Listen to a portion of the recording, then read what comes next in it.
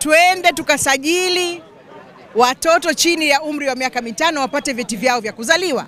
Utafahamu kwamba vyeti hivi vya kuzaliwa vina umuhimu sana wakati watoto wanaenda shule, wanapofika wakati wa vyuo vikuu, kuwatambua, kuweka mipango katika nchi.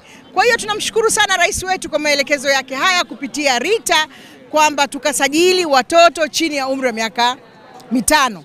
Mpaka hivi sasa takriban watoto milioni 8.8 nchi nzima wameshasajiliwa na hapa Dar es Salaam wameshasajiliwa takriban asilimia 60 ya watoto. Kati ya watoto laki sita takriban asilimia 60 wameshasajiliwa na hiyo laki mbili na tunakwenda kuwasajili. Tunataka ifikapo 2025 kila mtoto Mtanzania anayezaliwa awe na cheti chake. Uh, Tigo tumekuwa mstari wa mbele katika kushirikiana na uh, wadau mbalimbali katika kuleta mapinduzi ya kidijitali ambayo kiuhakika hivi sasa lazima tukubali kwamba kila kitu kinaongozwa na ICT yani TEHAMA, na katika hili nia yetu ni kurahisisha mambo mbalimbali ambayo yamebuniwa na wadau katika kufikia, kuwezesha maendeleo ya kiuchumi na ya kijamii.